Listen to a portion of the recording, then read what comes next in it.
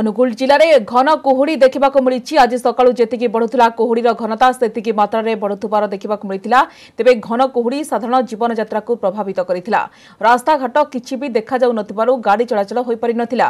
ଉପରୁ କାକର ବିନ୍ଦୁ ପଡ଼ୁଥିବାରୁ ମୁଣ୍ଡ ସବୁ ଓଦା ହୋଇଯାଉଥିଲା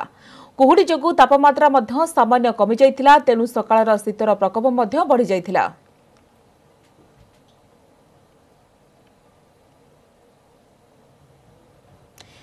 কুহুড়ি করুছি কলবল ভুবনেশ্বর কটক সমেত রাজ্যের বিভিন্ন স্থানের ঘন কুহুড়ি আজ দেখা মিলিলা বিলম্বিত রাত্রু ভুবনেশ্বরে ঘন কুহুড়ি লাগি রয়েছিল এমিতিকি তিরিশ মিটর দূরর রাস্তা বি দেখা যাই নথিলা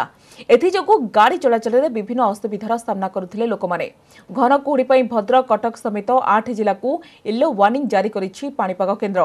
সেপটে ঘন কুহুড়ি পাই জেলাপাল ও এসপি মানুষ সতর্ক করেছেন অতিরিক্ত রিলিফ কমিশনার কুহুড়ি সময় যানবাহন চলাচলের